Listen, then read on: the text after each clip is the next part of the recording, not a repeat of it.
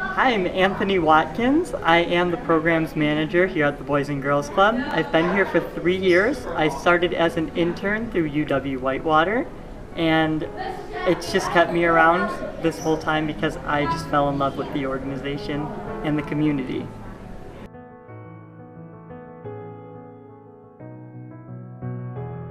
When I started here as an intern, I had no real clue what I wanted to do. I just knew that I wanted to be in the social work field.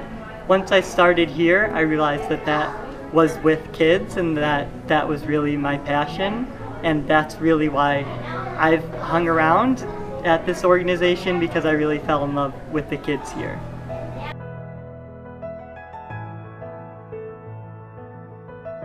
Things that I like to do is I love hiking, I love camping, I love doing things just outdoors. I love always spending time with my puppy and taking him for walks. He's the best. I love dancing, I love music, I love art. There's a ton of things that I love to do that I get to do here at the club, which makes it an awesome experience.